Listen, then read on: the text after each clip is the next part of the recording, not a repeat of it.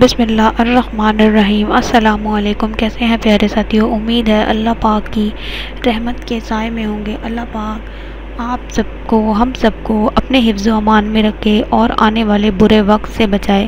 آمین۔ یا رب العالمین۔ آج جو وظیفہ میں آپ کے لیے لے کر آئی ہوں، وہ جوڑوں کے درد کے لیے ہے، انتہائی کارآمد اور مجرب وظیفہ ہے اور آزمودہ وظیفہ ہے۔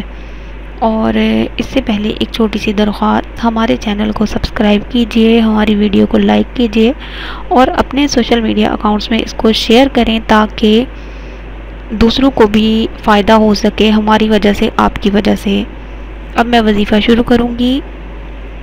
کوئی بھی وظیفہ شروع کرنے سے پہلے پانچ وقت کی نماز قائم کرنا ضروری ہے اور صدقہ دیں، صاحب حیثیت جتنا آپ دے سکیں، صاحب استطاعت آپ صدقہ دیں، دس روپے، بیس روپے، جتنی آسانی ہو صدقہ دے کر وظیفہ شروع کریں۔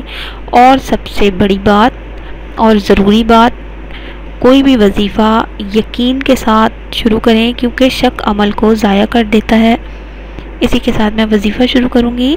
آپ نے وضو کر لینا ہے باوضو ہو کر آپ نے بیٹھ جانا ہے، اس کے بعد اپنے دونوں ہاتھ اپنے گھٹنوں پر رکھ لینے ہیں سختی سے۔ ٹائٹلی یعنی اپنے گھٹنوں کو آپ نے پکڑ لینا ہے، دونوں گھٹنوں کو، اور اس کے بعد آپ نے تیئیس مرتبہ یا وہابو پڑھنا ہے۔ تیزی سے پڑھنا ہے، ایک سانس میں ٹونٹی ون مرتبہ یا وہابو ایک ہی سانس میں پڑھنا ہے۔ اول و آخر ایک ایک مرتبہ دروشری پڑھ لیجیے۔ اس کے بعد آپ نے کیا کرنا ہے، یا سلامو یا حفیظو، یا سلامو یا حفیظو کو انگلی کی مدد سے دونوں گھٹنوں پہ وقفے وقفے سے لکھ لینا ہے۔ آپ نے اشارتاً انگلی سے لکھ لینا ہے اور یہ وظیفہ جو ہے یہ آپ نے کرنا ہے اکتالیس دن۔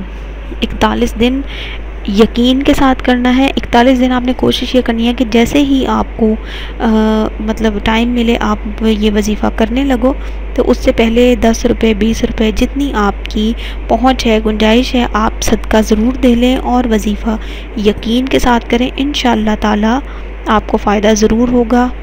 اسی ویڈیو کے ساتھ، اس ویڈیو کو میں ختم کروں گی۔ اگلی ویڈیو کے ساتھ حاضر ہوں گی۔